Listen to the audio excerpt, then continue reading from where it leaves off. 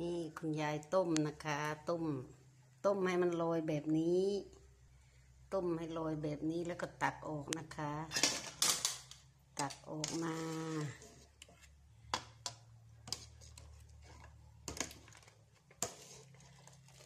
ตักออกจากน้ำร้อน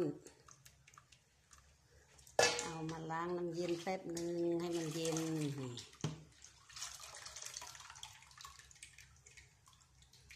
อืมวางใน กระโจนมันสดิดน้ำ อันนี้ก็สดิดน้ำแล้ว คุณยายเอามาที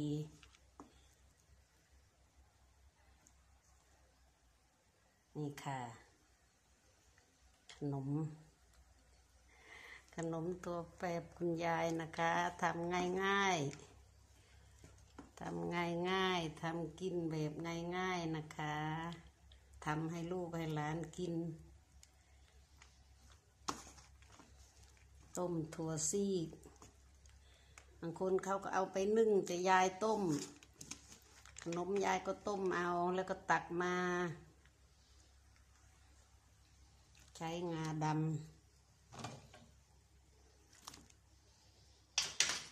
แต่นี้ก็ได้ลูกได้หลานกินแล้วนี่ ต้องซื้อเขาไม่ต้องซื้อเขาทำเองกินเองสูตรของคุณยายสวัสดีนะคะ สวัสดีค่ะ